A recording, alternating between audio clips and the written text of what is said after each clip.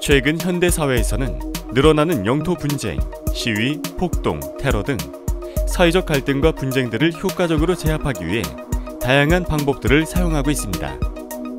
생명 윤리, 정치적 입장 등 복잡한 문제를 해결하면서도 기존 제압 장치들의 한계를 뛰어넘는 기술을 우리 연구팀에서 개발하게 되었습니다.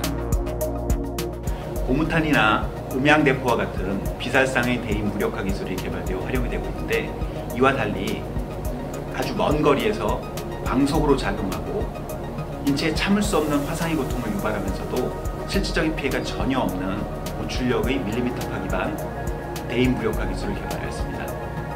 이 기술의 핵심은 핵융합 플라즈마를 고온으로 가열할 수 있을 정도의 고출력 밀리미터 파를 발생시킬 수 있는 자이로트론 기술이 되겠습니다. 우리가 개발한 고출력 밀리미터파 자이로트론은 전자총에서 고전압으로 인출된 전자빔을 초전도 자석이 회전 가속시켜 전자기파 에너지로 변환하고 그렇게 발생된 밀리미터파는 광학계를 통해 바깥으로 발사됩니다. 전자기파 에너지로 변환되고 남은 전자빔의 에너지는 콜렉터에서 회수하여 시스템의 효율을 높이게 됩니다.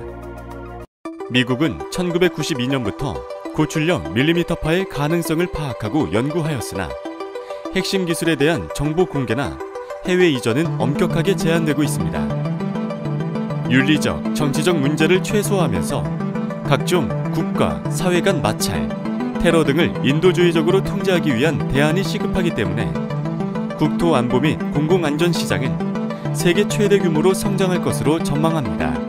전 세계적으로 테러의 문제가 심각하게 대두되고 있는 상황에서 우리가 개발한 자이로트론 기반 고출력 밀리미터파 시스템은 효과적으로 상황에 개입할 수 있기에 활용성이 클 것으로 기대합니다.